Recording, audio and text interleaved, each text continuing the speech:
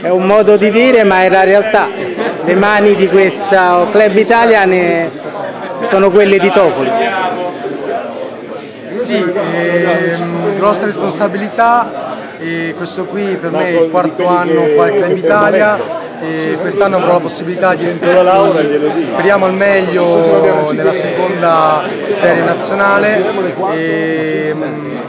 le mani di Tofoli, ancora le mani di Tofoli credo che ci stia molto molto lontano, anche perché come, come ripeto sempre eh, è meglio non fare diciamo, paragoni o confronti con mio padre perché lui è stato diciamo, un giocatore simbolo, un giocatore cardine della pallavolo italiana. Eh, io cerco solo di divertirmi, quest'anno per me sarà anche un anno importante a livello accademico perché finirò il quinto liceo scientifico con la maturità,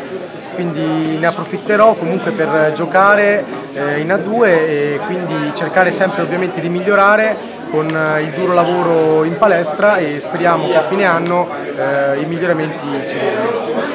Ecco, tu 18 anni, una di quelle età bellissime in cui si comincia a pensare quale sarà il futuro. Tu ti vedi in un campo da pallavolo? Eh, questa qui è una bellissima domanda anche perché ancora non so io stesso eh, cosa farò. E